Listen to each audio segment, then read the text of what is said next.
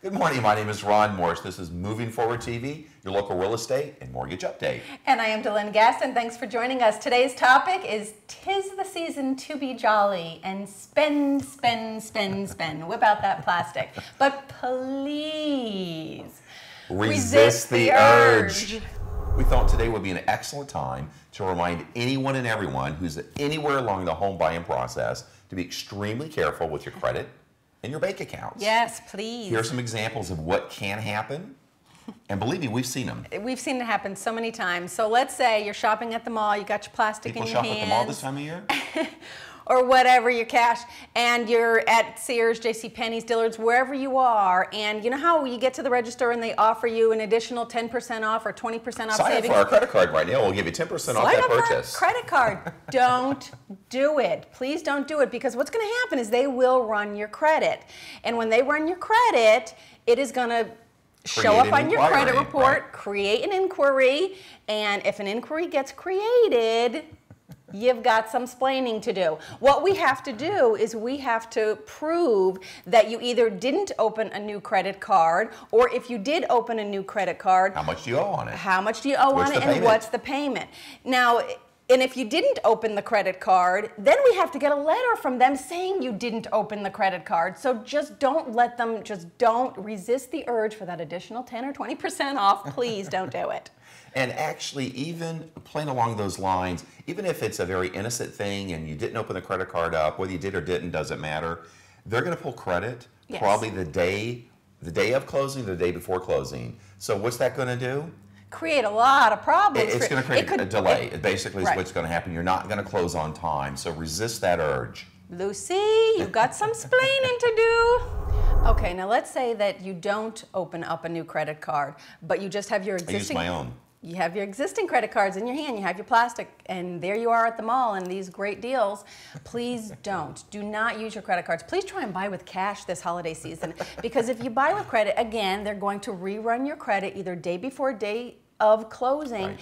and it could create a lot of problems if they're, you did go see out that activity it, regardless. They're going to then they're going to have to rerun your approval and get new findings with the new payment in there because your credit card is now has a higher balance and that could mean you know best case best case it means a delay worst case no soup for you worst case if your debt if you happen to be maxed out at your debt ratio anyway that extra payment extra 30 40 dollar a month payment it, it, could be a eh, deal killer. More it's possible. Delay. We've seen that before. We don't Just want to see that happen. use your credit. We don't want to see that happen to you right before Christmas, and I know you don't want to see it happen.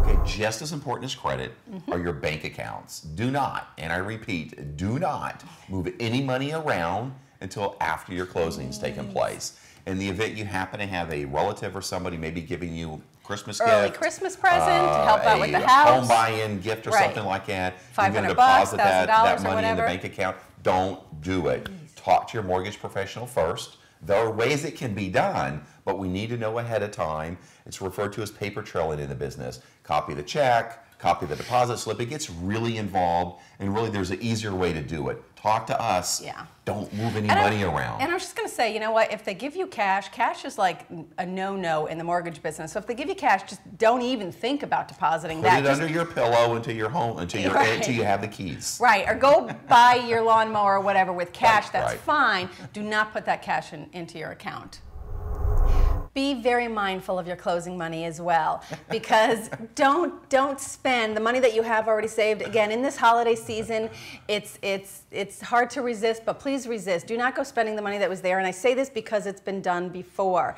Um, i still can't believe this story. This is a true story. it's a true story. Somebody went out and spent their down payment money. They didn't think anything of it then they you know they spent the down payment money that they had saved because they just went to the bank and got a loan like a week or so before closing to replace the money, um, just a signature loan. Well, that was a problem? And they thought that that was going to be okay, and it wasn't. And I'll be honest, it just killed the whole deal. Everything died, died right there. So please be very mindful. You cannot replace that money.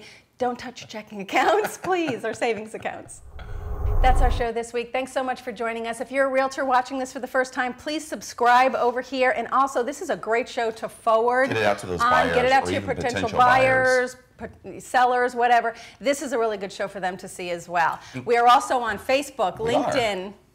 YouTube, Twitter. We're on all of those. Share it as um, as well there. And keep us in mind. We're here to help buyers. If you have any questions uh, from a realtor, mm-hmm. from a buyer, from a seller, keep us in mind. Reach out to us. That's what we do the show for every week. I believe there's We're actually even a wealth phone of information. you can even reach us by phone, by email, and of course all that social networking stuff as well. And don't forget our sponsors, or excuse me, our team over here. They're a wealth of information. Really help us get those deals to the closing table. We use them every single day, and we know they can help you as well. We are today and every day. Moving forward, we'll see everybody next week. Bye bye. You want bread? Yes, please. Three dollars. what? No soup for you.